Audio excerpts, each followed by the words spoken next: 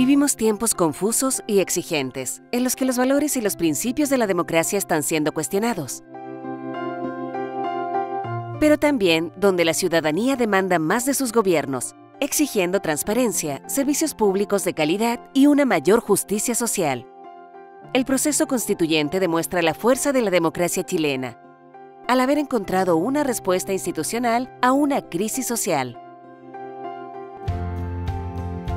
Tras el plebiscito del 25 de octubre de 2020, una convención que por primera vez será paritaria y en la que participarán los pueblos indígenas, redactará una nueva constitución, un camino para un nuevo marco de convivencia entre chilenos y chilenas. Por ello, la Unión Europea y sus 27 Estados miembros han manifestado su voluntad de acompañar el proceso constituyente, poniendo a disposición de todos los chilenos y chilenas los aprendizajes que desde nuestra diversidad hemos ido acumulando a lo largo de las últimas décadas, con sus errores y sus aciertos.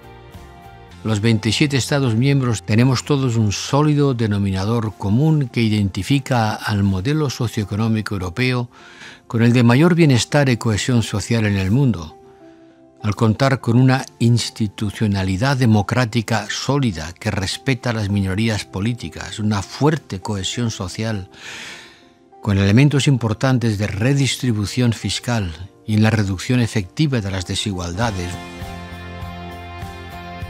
Mediante la participación de expertos y expertas de ambos lados del Atlántico y acciones de diplomacia parlamentaria, el Foro Chile, Unión Europea, fomentará espacios de diálogo entre los poderes del Estado, los partidos políticos y la sociedad civil.